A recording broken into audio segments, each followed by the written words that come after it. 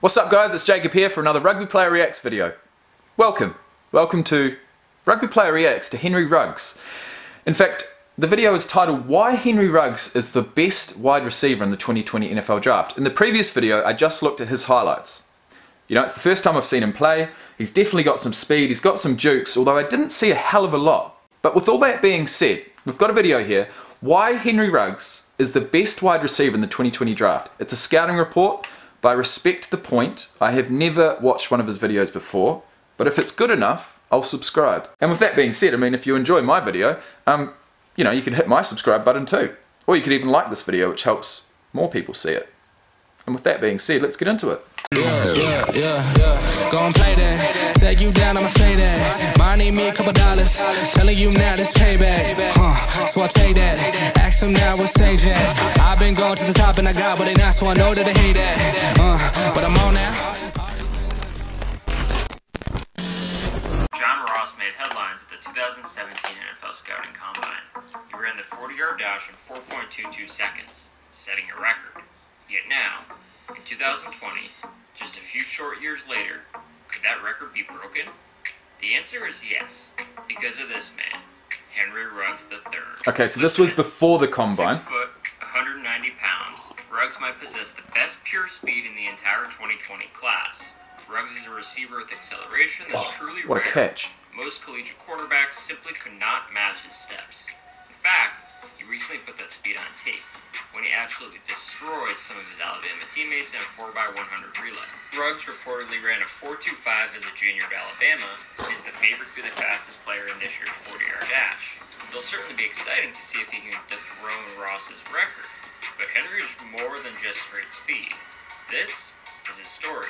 A native of Montgomery, Alabama, Ruggs was widely considered as one of the best high school prospects in the nation. 24-7 Sports considered him as a five-star, and he was rated number 24 nationally in their top 247. He was also the Athletics top-rated receiver nationally. When it came time to make his college decision, Ruggs elected to stay close to home and commit to the University of Alabama and it did not take long for him to make an impact with the Crimson Tide. In 2017, he was named to the All-SEC freshman team. He served as Bama's primary kick and punt returner, while also adding 12 receptions for 229. Really? So we didn't even see any of his kick returns or any of his punt returns. What? They're going to be one of his. They're going to be some of his best runs. Henry Ruggs kick returns. Jaylen Waddle, quickest player in college. What? But hang on. Hang on, mate. Sick Edits HD has contradicted himself. He's calling Jaylen Waddle and Henry Ruggs both the quickest player in college football. Robert E. Lee, number six, Henry Ruggs with a 100 yard kickoff return for a touchdown. All right, well, this is the only return we're going to see. All right, well, this is, well, this should be interesting. High school, high school football, 100 yard kickoff return. Come back to bite you if you don't capitalize on it. And that is the case right now. Got bite you right in the, in the ruptured spleen as AJ Reed kicks this one away, and this one's going to be short at the goal line and brought out to the 10, 15, 20, 25, 30, 35, 40, and he is going to go all the way on. Too easy. Of which went for a touchdown.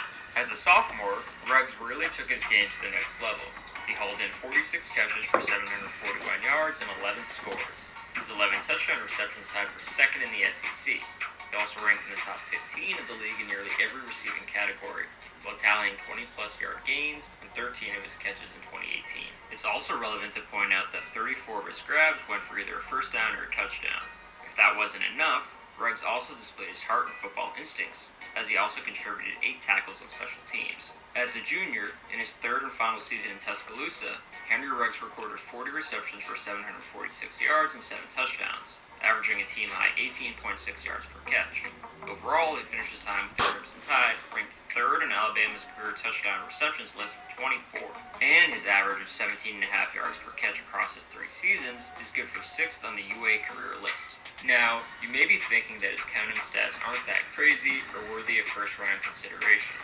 However, you have to consider his very unique circumstances.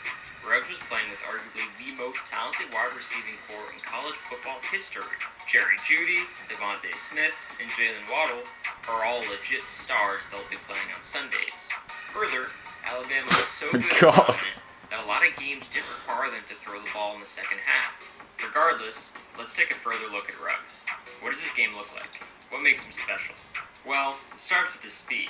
I mean, obviously, there won't be many, if any, players on opposing defenses that can keep pace with him. He absolutely destroys pursuit angles with the ball in his hands and has a rare ability to accelerate and achieve unprecedented speed. But here's the thing he isn't just a fast guy, his football skills are absolutely present at a high level. Features outstanding body control and ball skills to make him effective in contested situations. There are also plenty of reps out there that illustrate his ability to elevate and win through contact when necessary. Ruggs generally has no issues establishing his frame with a catch point and hauling in the football outside his frame with extension. He consistently makes excellent adjustments to the football in every direction. Yet, perhaps most important are his excellent intangibles. His competitive demeanor is evident in everything he does. He is fearless and will run slants and six routes over the middle and not flinch. He also does not shy away from the limelight, making contested catches in critical moments in the game. He works his tail off to block and computes with the ball in his hands post catch. He also improved significantly by becoming an even better route runner in 2019 compared to 2018. He understands landmarks and timing and illustrates the technique required to beat press coverage. There are not a lot of things Ruggs doesn't do well. Guys, I gotta be honest, man. This is this is really testing me because at the end of the day, I fucking could make this video. I could do that. Why Henry Ruggs is the best wide receiver in the 2020 draft, mate. I could watch a few games of the 2020 season and start making videos. Why Leonard Fournette is the best running back in the NFL, and just do a bit of film study. Why Tom Brady is the worst quarterback in the NFL, and just do a bit of film study. I'll try to mention a few things out of fairness. He doesn't have a big catch radius and will let the ball get into his body at times. While this can be eliminated with coaching, this could be an issue in the NFL where windows close faster and coverage is tighter.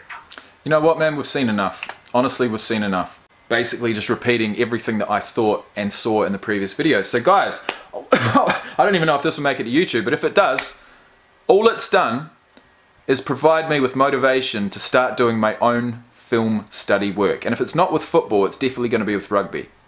So, stay tuned. Just read, and it rings a bell that Henry Ruggs' best friend suddenly passed away and it altered the course of his life forever. So we're not going to watch the whole series, we are going to watch episode 1 and that's going to be in the next video. Following that, we're going on to Jerry Jeudy. And I'll see you then. Peace out.